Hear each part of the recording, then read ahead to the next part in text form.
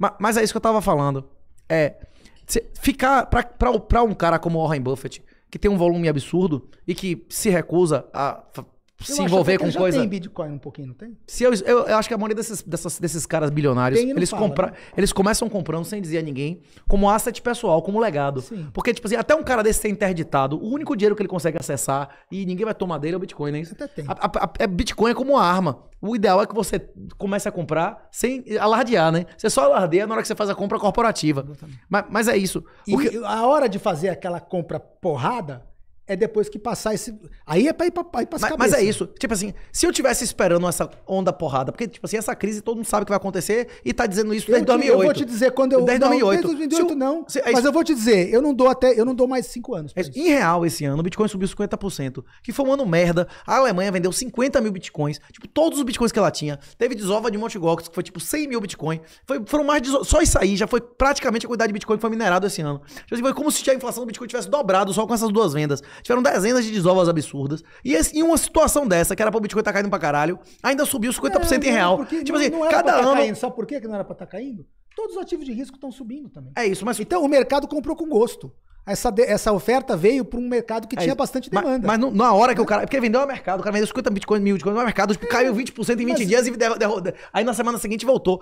Cada ano que você É, o deixar, você esperar, a- o- com um monte de dólar físico Cotibill na mão, cada ano que você espera, você pode perder, porra, sei lá, esse ano foi 50%, mas tem anos que o Bitcoin sobe 20 vezes.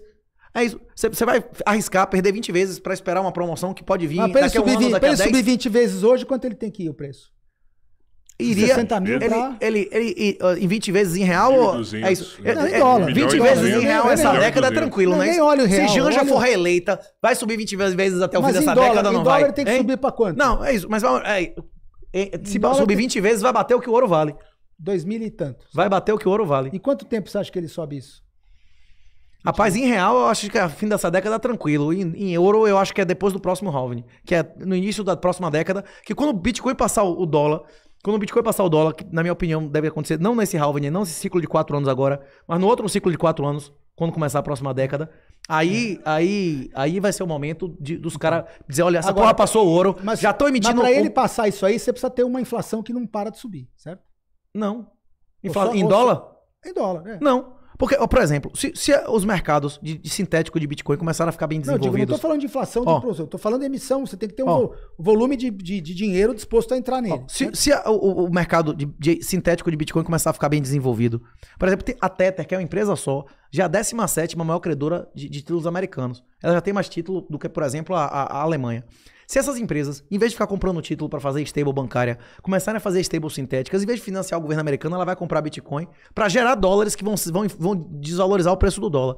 O cara que gosta de comprar ações e índices, ele vai preferir comprar ações e índices onde ele paga imposto, onde um filho bastardo afetivo aí a esposa adúltera pode tomar, ou uma DeFi que ninguém no mundo pode tomar dele, se ele der bocadura ele leva pro caixão se ele quiser.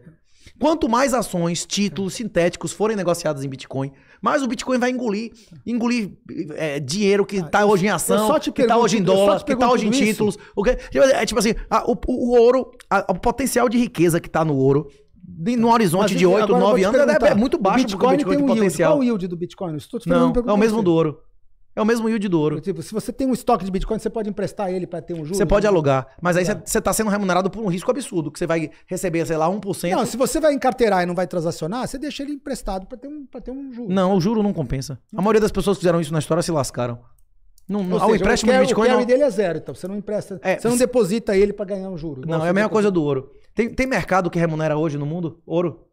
Não sei se tem. Os- a maioria dos mercados que remunera ouro, hum, historicamente, não valeram a pena. Quem deixou ouro no, no cofre, em qualquer país do mundo, Porque, 100 por anos exemplo, atrás, tem- não tem ouro mais hoje, não é isso? Quem deixou ouro no cofre do banco nos Estados Unidos hoje, não, não tem mais ouro É, nenhum, é isso? o cara que empresta Brasil ouro, tem? o cara que empresta o ouro para alguém é para alguém ir lá e vender e depois pagar de volta. Se Ou seja, tem um risco de, de- de perda total e a remuneração. Como o bicho se, se a- aprecia muito, se você buscar no Banco do Brasil, chegar no Banco do Brasil com a barra de ouro, não sei quanto é que você me empresta, então que ele vai todo- cobrar por toda a causa de ouro, né? Toda a estratégia está baseada na apreciação do preço ou está baseada na reserva de valor?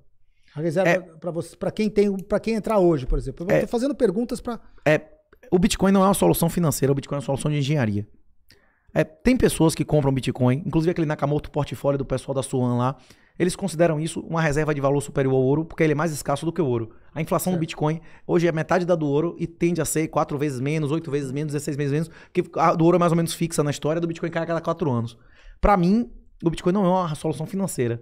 Para mim, o Bitcoin é um imperativo moral. Eu não vou ter minha mão suja de sangue de aborto, de castração de criança e de tribunal feminista. Para mim a nossa é diferente, aquela história lá do Pavel que foi preso lá na França agora, que tem que ele comprou dois imóveis na vida, um para mãe, um para avó, e que ele não tem interesse de ter carro, ele não tem interesse de ter casa, até que a gente viva num mundo em que seja restaurada a propriedade sobre imóveis, que não é o caso. Respondendo a pergunta do senhor, ah, o que é que me impede, o que é que me defende do Bitcoin ser criminalizado? Se o Bitcoin for criminalizado agora aqui, eu vou declarar, vou fazer minha declaração final de saída, não é isso? E vou prolongar onde o Bitcoin não seja criminalizado. Isso faz parte qualquer, da minha carteira. Qualquer. Qual, ter, ter uma segunda cidadania. Qual, qual é.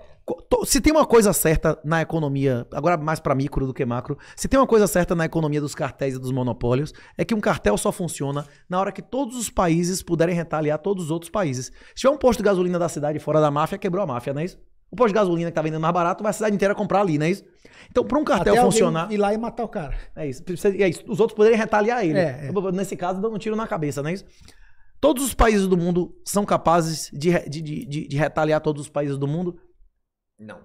A Rússia vai colaborar com os Estados Unidos para proibir o Bitcoin, que ambos são grandes mineradores, estão inclusive tendo lucros absurdos com isso. A Rússia utilizando a energia excedente deles e os Estados Unidos utilizando o gás do fracking, inclusive evitando o gás de efeito estufa e tudo mais. Eles vão conseguir um proibir o outro.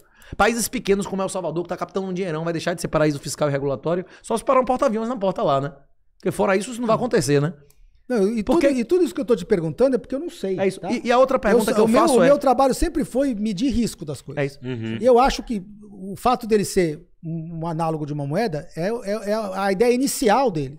De reserva de valor Sim. e de ser inatingível do ponto de vista de ser produzido... Expropriado, por de loição. Exatamente. A única ressalva que eu faço é, no cenário de quem gerencia risco, eu não quero entrar numa situação onde se o risco é de uma espiral deflacionária, eu perder uma parte do que eu acumulei em outras moedas porque eu entrei no preço errado. Só isso. É isso. Mas a volatilidade do Bitcoin Essa é a única coisa. A volatilidade do Bitcoin em ouro tem caído. Porque o cara pode também. perder antes, de, antes, de, antes do fundo, é você pode comprar e ir sendo, sendo estrangulado. Porque é isso, Faca. Se, se, você pegar a volatilidade do Bitcoin em ouro, ela só tende a cair. É um canal assim bem descendente. Se você pegar a volatilidade do Bitcoin em dólares corrigidos pela base monetária, é um canal descendente. Agora, em dólares nominais, qualquer é muito, merda. É muito volátil. Qualquer merda. A volatilidade do dólar em, em, em, na moeda de, da Venezuela tem aumentado ou diminuído? Ah, eu nem sei como é que é a moeda lá. Porra, na República de Weimar tinha dia que o ouro caía 20%, porque tinha ouro que tinha dia, tinha dia que o ouro subia mil. Tipo assim, é sempre no, mais quando, É isso. Quando a moeda morre, qualquer coisa naquela moeda, a volatilidade é absurda. Mas a volatilidade para, do Bitcoin, para, Bitcoin para, é zero. Para, para, para, para quem gerencia risco de carteira, por exemplo, a volatilidade é a medida principal de risco. Isso, mas você tem que ver a volatilidade em ouro ou em dólar corrigido pela base monetária. Sim. Não na onda nominal, né? Isso o senhor concorda comigo. E que a inflação real é aumento dos agregados. Mesmo que o senhor considere. Né? Isso? É, que então... o, é que o Bitcoin oscila tanto que a diferença da volatilidade real para nominal não é, não é, é grande. É zero. É porque é o seguinte... Quase, quase zero. A, a, volatilidade em dólar nominal é grande, em dólar real deflacionado pela inflação também é grande. É isso. Pelo fato do Bitcoin na primeira camada, você poder comprovar publicamente onde está o dinheiro que você emprestou isso à é pessoa. Importante, isso é importante. Ele é o colateral supremo. Ele só não é o colateral mais usado no mundo hoje por causa da volatilidade. A solução para isso são sintéticos. É, por exemplo, você no, no smart contract, no, na blockchain, você não apenas ter Bitcoin, mas você, com esse Bitcoin, poder gerar dívida de dólar, dívida de ouro, dívida de índice, índice de ações, e seja lá o que for, de commodities e tudo mais.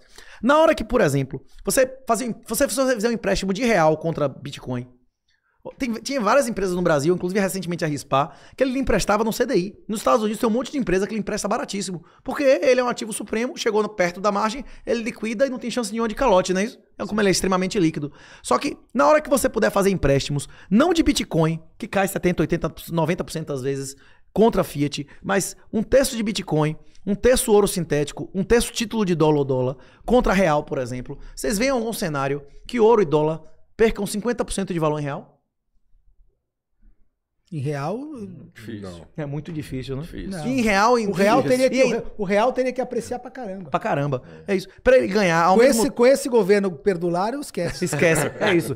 Não, é. Só, só por ação direta de Deus a galinha a assada única, vira, a única, vira, vira a cantar, A né? única razão pro dólar, pro real apreciar em relação ao dólar é se a destruição de crédito no Brasil for maior do que a Do que dos Estados de- Unidos. É isso. Então, na hora. é possível, porque tem muito mais crédito em É dólar isso. no mundo. Então, na hora que esse tipo de mercado que já existe se desenvolver e popularizar e pessoas facilmente se endividarem em sintético de reais contra carteiras diversificadas, por exemplo, um terço dólar, título de dólar, um terço sintético de ouro e um terço Bitcoin, o Bitcoin vai se tornar um título mobiliárquico. Ninguém nunca mais vai vender Bitcoin.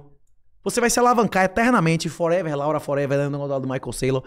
É, As pessoas vão, vão se alavancar eternamente nas moedas que vão estar morrendo. E quando elas morrerem, acabou a dívida, escolhe outra moeda para se alavancar. Quando acabar as moedas fiduciárias, faz isso com metais inferiores, como o cobre e a prata. Quem, quem, quem alavancou em prata contra ouro ganhou em todos os séculos e todos os milênios. Por causa da questão do stock to flow, que é o valuation do- das commodities. É a relação de estoque fluxo. Tem uma correlação altíssima entre o valuation market cap da maioria das aliás,